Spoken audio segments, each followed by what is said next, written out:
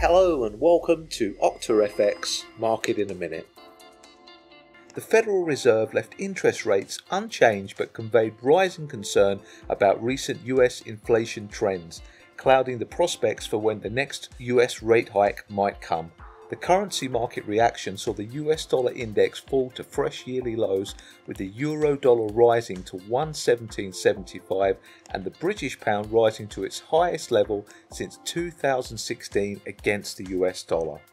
Commodity currencies also rose, reaching multi year price highs, with the Australian dollar hitting 0.8066 cents against the US dollar.